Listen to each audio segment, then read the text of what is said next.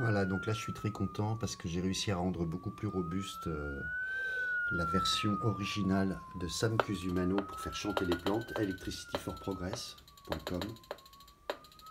Ce qu'on entend c'est généré par cette plante.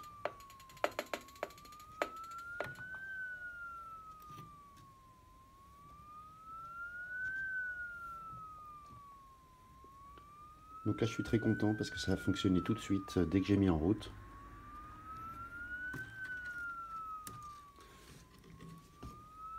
Et c'était beaucoup plus intéressant tout à l'heure, mais ça fonctionne.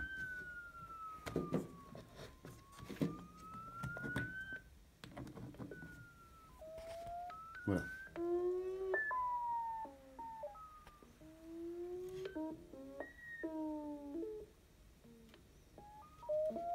Donc l'activité électrique de la plante.